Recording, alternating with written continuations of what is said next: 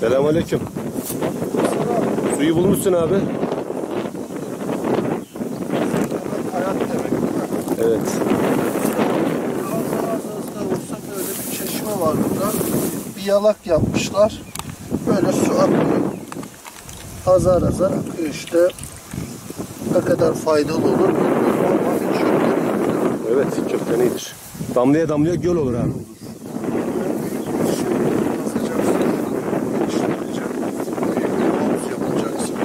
Evet. Balıkesir Gönen Hacı Veli Oba mahallesinde 18.375 metrekare güzel bir tarla. Kadastrol yoluna cepheli Gönen manzaralı yerimiz buğday, arpa tarzı ekilen bir alan. Hafif şöyle bir aşağı doğru tatlı bir meyili var. Bakın sınırlarımız buradan başlıyor. Bakın burada çitler var belli.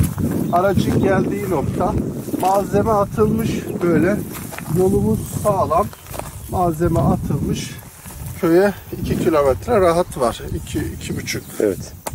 kilometre var. Ama Gönen'e yakın. Gönen tarafından giriş yok. Yani şu aşağılardan bir yerden giriş olsa daha kısa olacak. Mecburen köyün içinden Mera'dan giriliyor. Resmi yolu var. Burası yol. Yoldan tarlamızın içine giriyor. Yol da burada bitiyor. Evet. Yol burada bitiyor ama tarlaya dayanıyor yol yani. O yüzden resmi yol var. Bu şu arada devam eden de tarlalar kendi arasında arkadaki tarlalara yol vermiş. Yani burası resmi kadastrol yol. 18.375 metre. Her türlü tarım, meyvacılık, fidancılık yapılabilir burada.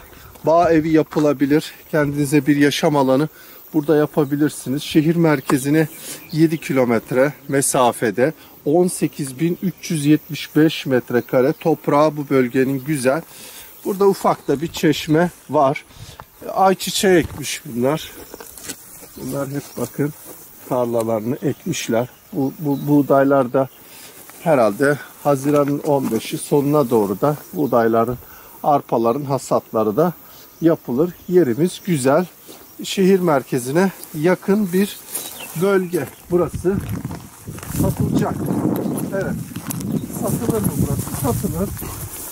Araziler biliyorsunuz eee, son zamanlarda değerlendi. Toprağın kıymeti değeri daha da çok arttı. O yüzden e, bu bölge hem yakın olması şehir merkezine hem havadar bir konumu olması hem de kadastrol yolunun olması bu tarlaya ayrı bir değer veriyor. Bu su kaynağını da e, çoğaltıp veya bu su kaynağı böyle akıyor. Sahibi de yok. Böyle gidiyor burada. Belli zaten harap olmuş. Buraya kendinize şu alana değil mi bir şey yapılıp Yani. bu su burada biriktirilebilir. Efendim burada da güzel meyvacılık yapılabilir veya sondaj vurulur. Burada suyu da bulur.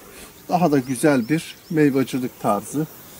Hayvancılık da yapılabilir. Buralar birinci sınıf tarım arazisi değil, ova da değil. Burada kendinize bağ evi veya hayvancılık tarzı bir işler de çevirebilirsiniz değil mi? Evet. İş çevirmek deyince ne geliyor aklına?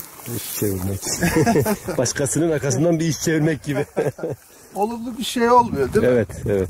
Ama iş çeviremez misin burada yani? İş çevirince kötü mü oluyor? Kötü olmuyor aslında ama işte aslında e, cümleden böyle e, anlamı Hep kötü, kötü anlama geliyor kullanılmış ya. Evet. Yani kötü anlamların kelimesi olduğu için iş çevirmek, birisinin arkasından iş çevirmek Allah korusun değil mi? Hiç iyi bir şey değil. Evet.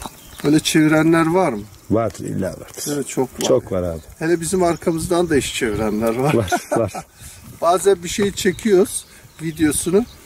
Ya adam ne yapıyor? O köyün muhtarını arıyor, geliyor burayı buluyor, bulduruyor. Yani bu yerin sahibi kim? Sahibini buluyor, gidiyor. Bir bakıyorsun bazı tabi böyle sahibi sözünde durmayan sahipler de olabiliyor. Arkandan yeri satmış senin haberin olmuyor. Evet. Bazıları da var vermiyor diyor ki ben verdim işte emlakçıya kardeşim git onunla hallet işini diyor. Dürüstlükle yanaşıyor çünkü onlar emek vermiş diyor. Efendim ama bazıları da ya şimdi diyorlar ya emlakçılara ya emlakçılar şöyle böyle tamam iyisi de var kötüsü de var her şeyin ama Bazı şeylerde de işte hani emlakçılar köylerin isimlerini söylemiyor, şöyle böyle yapıyor. Biz hepsini söylüyoruz. Evet. Şeffaf bir şekilde söylüyoruz ama bazen arkamızdan iş çevirenler oluyor. Söylemeyenler de iş çevirdikleri için, bildikleri için söylemek istemiyorlar. Onlar da kendilerine göre haklı. Herkes kendine göre haklı değil mi? Evet Ne haklı. olacak bu düzen? Haksız olan kim? Ne olacak bu düzen? Bu düzen bence böyle gidecek abi. Böyle yapacak. gidecek. Böyle geldi böyle gidecek. Ya işte ama işte kim ne yaparsa kendine yapar. Evet. Üç günlük dünyada. Değmez yani değil mi? Dürüst olan her zaman kazanır. Sahtekar, üçkağıtçı olan kişiler de bir kere yapar bir daha o işi yapamaz. Ne bileyim yani kazanamaz. Çıkar ortaya değil mi? Çıkar. Evet değerli dostlar bugünlük bu kadar.